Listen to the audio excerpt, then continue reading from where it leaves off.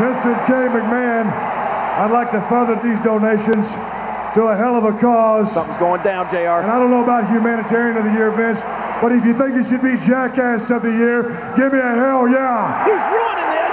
Well, Stone Cold Steve Austin. There's a, oh, that bomb means. Wait a minute, he can't be coming out here. He's surrounded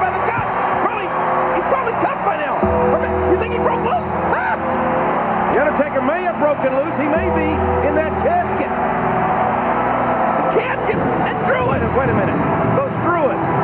The Druids. You're right. That's it. It's the Druids. Keep this the setup. These Druids are going to do something. But to who? To, to Mr. McMahon?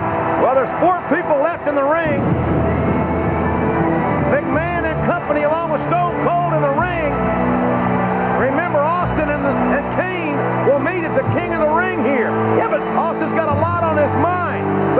But could Undertaker be coming out to make yet another challenge to Stone Cold?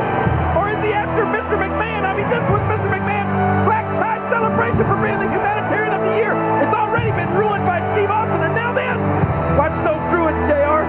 And why have McMahon and company, along with Austin, we know why Austin stays in the ring. He's fearless. What are you talking about? Why is McMahon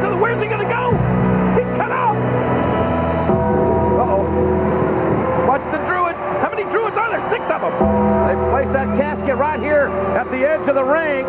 The lights are still. Wait a minute. Mankind